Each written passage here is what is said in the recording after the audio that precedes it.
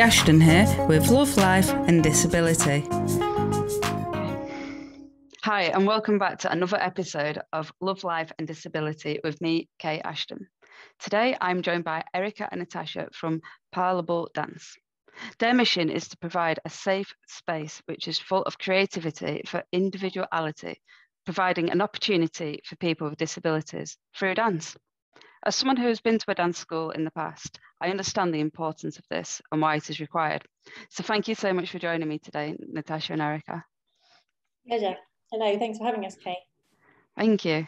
So I guess first and foremost is how did you become dancers and want to um, train and teach people about dance? Erica, do you want to go first? Sure, I'll start first. Um, I I grew up in a in a dancing household, so um, I've been dancing essentially forever. Um, and unfortunately, it wasn't really until post university that I kind of discovered the world of inclusive dance. Um, uh, and I was working with a company in New York City that had dancers with and without disabilities. Um, and then I moved over to the UK um, to get my master's. And while I was there, I saw the vast array of inclusive dance opportunities here. Um, and I started volunteering with a couple of companies and then um, met Natasha at one of them and sort of worked up from volunteer up into lead facilitator there. Um, and then from there, we just, uh, yeah, it just kept going from there. and what about yourself, Natasha? Um, yeah, similar to Erica, apart from the dancing family, definitely didn't have that. Uh, so uh, grew up doing ballet, tap, and modern, and uh, did a GCSE dance course, and then went on to A level dance. And it was my A level dance teacher who introduced me to inclusive dance. She was doing a project with a local school um, with kids who had varying disabilities, and I just loved it. I just got the bug. And so when I okay. went, went, went and trained at Trinity Laban, did my degree. And when it came to doing my dissertation, I thought, well, I want to do something around inclusion. Mm-hmm. And I had recently seen Candoco Dance Company, so I decided to write my dissertation about them. Ended up joining their youth company, and that was kind of my first um, experience of kind of really immersing myself in inclusive dance. And I've been teaching just over 20 years now, and everything that I do is is about inclusion. I mean, I've had some kind of mainstream roles um, within colleges and things, but for the most part, my career has been about kind of driving forward inclusive practice and just kind of trying to get to the point really where it's just dance and it's not a separate thing. And when you were first starting out and you was coming across the inclusion dance, would you say maybe more areas of the UK was doing this better than other areas, maybe in the more built up areas opposed to more rural, or do you think it was more um, level playing field? It's really hard to know, to be honest, because I was in I was in one area, so I knew what was going on for me. Yeah. I think I think it's quite widely known that it's sort of more saturated around London. Definitely, there's there's more there are more companies, more opportunities. Um, and then there's sort of pockets around the UK, but definitely in the bigger cities, um, where there's more funding, definitely it, there's there's more going on. Yeah. Um, but it's it's something that's really expanding and is becoming much more kind of a, a known uh, practice and, and and people wanting to find out more about it. Even through our most recent project, we discovered a bunch of inclusive companies that we didn't necessarily know existed and are doing great work in other other places that is that are not London. So wow that's that's that's good to hear though and I, and I do feel things are changing with the times as things do move forward because if I take when I was nine so that's gosh back in 1999 me and my brother was at a dance school in Manchester and they, they they were fantastic don't get me wrong but as an adult and I look back I don't think they were truly inclusive. So if we were to take the stages, for example, none of them were wheelchair accessible. We didn't have any dancers in wheelchairs we had a lady whom had Down syndrome. We had myself with the scoliosis, and I wore a back brace. But it uh, for me, it was my braces were always covered up. Where where for now, if I'm out and about and I'm doing any sort of performing, I don't mind it being on show. And when I did acting, it was on show.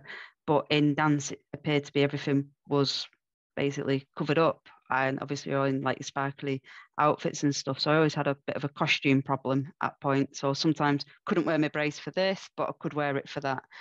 And it was great, but yeah, I don't feel it was probably truly inclusive. If anything, it was you're not going to do too many dances because we don't want to strain your body sort of thing so then you didn't do as many dances as maybe the rest of your peers and i wasn't approached about those conversations it was more that's just the way it is yeah it sounds as well like you're sort of trying to hide your disability rather yeah. than celebrate it i think something that's really important about inclusive dance and, and our practice is it's about looking at the individual and what their strengths are and and focusing on movement that suits somebody's body mm-hmm.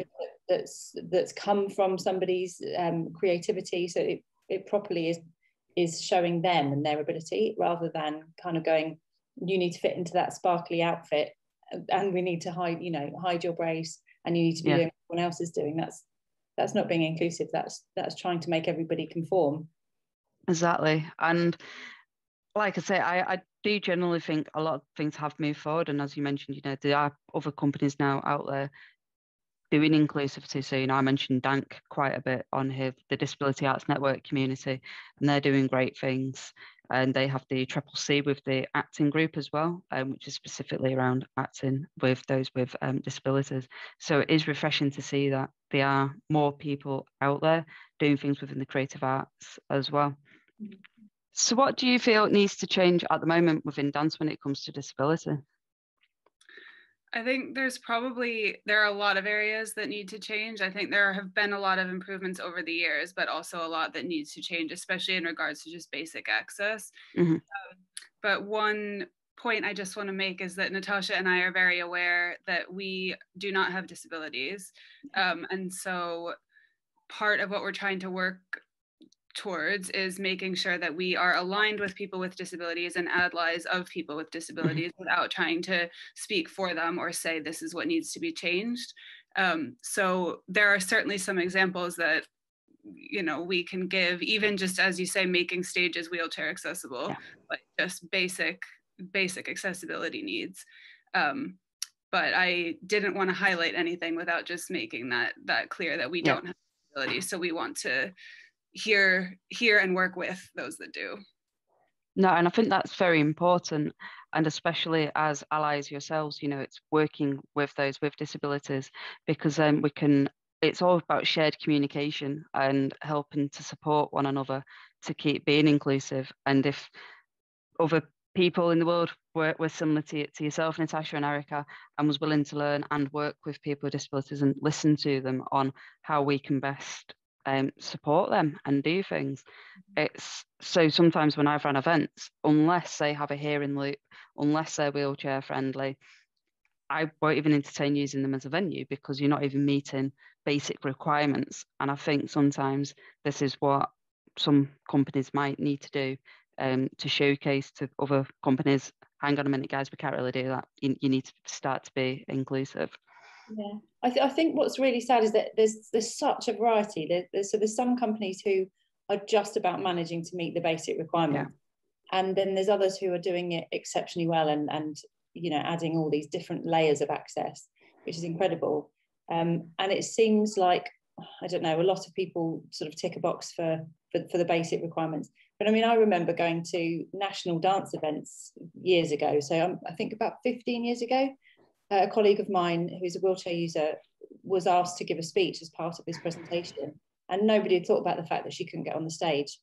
Wow. So she, she was interviewed kind of down in the pit, and it just, you know, stuff like that. And and I know that that was 15 years ago. I don't think that that national organisations of that level would make those mistakes anymore. But equally, you know, there's just so much to be done. There really is we say that national organisations wouldn't do that, but all our COVID announcements at the moment doesn't have a BSL interpreter in the room like Glasgow.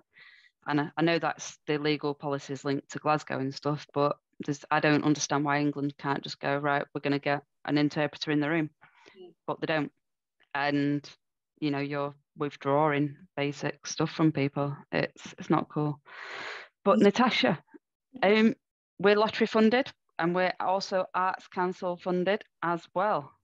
How how did all that begin, and how long did that take? The, so the Arts Council is, funded by the lottery. So we're so our um, our initial project that we did during lockdown was was Arts Council lottery funded. Um, we it, yeah, it's, it's difficult. I mean, we we only launched in 2019, and we kind of had uh, aspirations to start classes and um, do lots of kind of face to face stuff.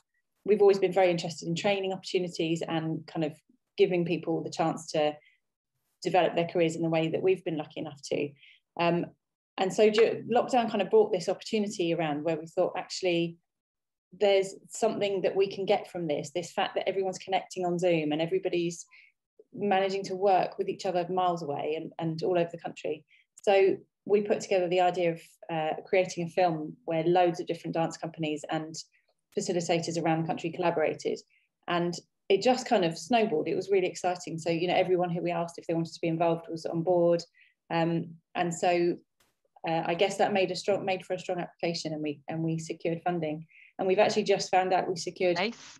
another round of funding. So it's really really exciting. Yeah. And yeah. that one's with ACE, isn't it, Erica? Um, for, for one of your next projects. Do we know what the next project's going to be? Um, so we're working on a few different a few different things, but um, one of them is a new graduate inclusive dance network. So we want to uh, we'll be able to give more details in a couple of months, but we want to um, make sure that we are we're worried that there's a gap especially from mm-hmm. the pandemic with new graduates being able to find opportunities in dance and in inclusive dance and so we want to kind of fill that gap and bring up more people um, to work inclusively. Um, and that'll go through universities and also hopefully some dance companies um, as well that have rising dancers interested in teaching. Um, we yeah are still in the planning stages for it to be launched in a couple of months but it's amazing that we can actually plan it now that we have the funding. Um, part of what we're going to do as well will be giving um, uh, professional development workshops and panel discussions with mm-hmm. some of the artists and companies that were in our first project the film um, and maybe with some new ones as well um, amazing yeah. and i guess as well, looking at your core values of parable dance, is how do you invest those into your into your practice and what you do? Um, that was sort of the basis of where we started the company. So we wanted to say, we said, what do we want to make sure we're doing with every project that we do, and make sure that um, hopefully everyone that participates with us feels those values being um, executed as well. Um, I think we kind of we work so well together anyway because we have these same ideas about what how what our approach to inclusive dance is. They align nicely, um, and it kind of just ballooned from there, I suppose. But you know, we came up with quite a few, I think, serious values, which is important in the company. And then we realized actually, like, part of why we love this is because of how fun it is. Hmm. so we have to, you know, make sure that we add that as well, because that is a huge, that's a huge part as well um, of everything. So once we kind of get all of the um, other aspects together, we want to make sure that everything is is always fun to do as well. That's so cool. So when you are leading your workshops, um, do you, are these paid positions? Are people volunteering as well themselves here? Because as we do know, a lot of persons with disabilities can sometimes struggle to, to get work and to get opportunities and stuff. So um, are these actually paid opportunities that people are also receiving? Yeah, it's, it's really important to us that we provide paid opportunities for dancers with disabilities um, and that we're representing people with disabilities across um, every project that we do um, in the company because otherwise we're speaking for people instead of with people. Um, so yes, the projects where we've delivered, uh, we delivered a carousel project where we were doing inclusive club nights. Um, okay. A team of uh, a learning disabled dancer and a non-disabled dancer team teaching together. Um, we've got a number of other projects coming up with Southeast Dance. We, um, for our film, we had a 52% representation uh, where people identified as having a disability. So yeah, wow hugely important to us that um, we're providing paid opportunities and not having that expectation of people working for free. Because that is one expectation that we have quite a bit. I know myself from panel discussions, a lot of people just expect you to turn up for free and give up like two, three hours of your time, and but then they go pay an actual member of talent and you're kind of like but we're all talent it's why we're on a panel but we don't get paid and there's just that assumption um, so no it's really refreshing to hear that um, people are being paid um, for the work that in which they're doing yeah it's really important to us and there's other companies out there that are, are doing really fantastic work around uh, having kind of inclusive represent, representation across their uh, teaching teams as well so companies like dance syndrome up in lancashire um, are a really great model for, for others to kind of look to. So yeah. I love dance syndrome. I, I like watching, um, I used to go to the Wake Up and Dance. Um, I've seen that advertised on Twitter at one point, so I attended some of their sessions. And I like how they also run some of their sessions where um, you'd have one member of the group and then a, then a non-disabled um, person working with them to then lead the lessons as well. I thought that was really nice and it, it was great. I loved them. They're fantastic. I'm a trustee for them, and I just yeah, I love everything about what they're up to. I I, I just think they're amazing. I they definitely need to come on here one day as well. I'll tell them. Brilliant. And you used to do um, volunteering um, back in the day. Do you offer volunteering opportunities within with within here as well, so other people wanting to try out new things as well can get involved from a volunteering perspective? Yes, absolutely. Um, so we we offer a range of different opportunities. It could be that you know supporting some of our administration side, um, but actually we're hoping to launch classes in Brighton, weekly classes in partnership with Carousel and Southeast Dance, um, which we'll be piloting. So kind of going out to the community and meeting people from September onwards, and then then in January 22 starting those weekly groups. And we absolutely would love volunteers to come and and support those sessions. And as well as that, Erica and I both always really up for people just getting in touch and and if they want to come along and see some of our projects or you know they if you see a um, a social media post about something we're doing if if if there's a way we can involve mm. you because one of the most important things to us is about supporting the next generation of of inclusive dance artists and, and the best way to do that is to just involve everyone as much as we can so yes do get definitely. I think anyone listening to this, if you're wanting to, to be a dancer, if you're wanting to learn about inclusive practice, check out the Twitter, Facebook, the website, and do reach out to Natasha and Erica, and I'm sure they'd welcome you aboard. And with your film, where can people go to, to watch this? And then again, where, if if and when you get your sessions up and running, where could people possibly look to join and attend these? So if you, uh, if we've got a YouTube channel, so Parable Dance YouTube channel, and the film that we created is called Inclusive Practice is Good Practice. And uh, there's two versions, there's a BSL version and both are captioned. And uh, there's, a, there's a number of other kind of bits and bobs on that channel if people are interested in sort of trying out what we do and joining in. Um, in terms of the networks and panels and kind of the next phase of the project, if you follow us on social media, we're on Twitter, Instagram, and Facebook. Um, awesome. and, and our website is parabledance.co.uk.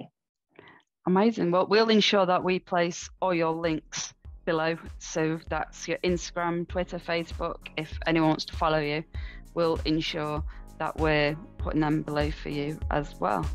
Absolutely. No, thank you so much for joining me today. It's been an absolute pleasure to talk to you. Thank, thank you so much.